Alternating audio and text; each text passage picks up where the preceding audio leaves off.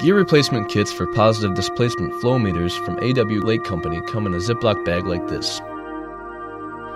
Meter kits consist of two round gears, technically called spur gears, two shafts, one for each gear, and two O-rings, one that's Teflon and one that's Viton. You'll only need one of the O-rings, so you need to determine which O-ring material is suitable for your application, based on what fluid you'll be running through the meter.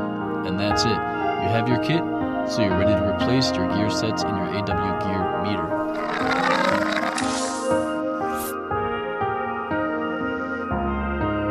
To replace the gears, you'll need to take the meter apart. To loosen the bolts holding the meter body together, it's a good idea to secure the meter in a vise. Make sure the clamp is on the flat end of the meter for a secure grip. Otherwise, you risk ripping off the tags of the meter should it suddenly give way and spin with the twist of a wrench. We recommend either putting wood or rags on both ends of the meter to avoid marking it up. Proceed to break the bolts using a 5mm hex wrench. Once the bolts are broken free, remove the meter from the vise and continue to extract the bolts and washers on a work surface. Once all the bolts and washers have been removed, you'll want to put two bolts back into the meter on opposite ends, engaging them only 3 to 4 turns.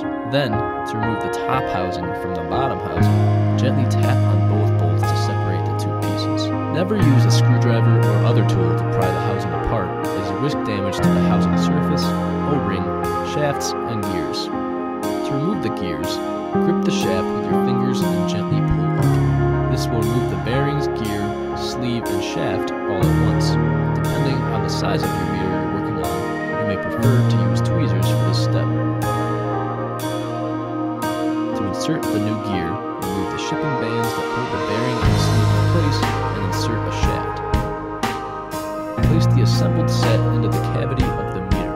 Repeat with the second gear.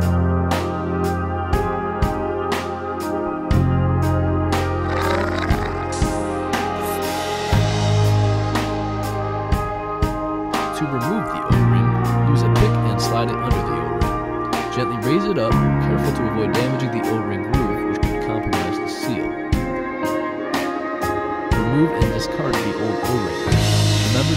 sure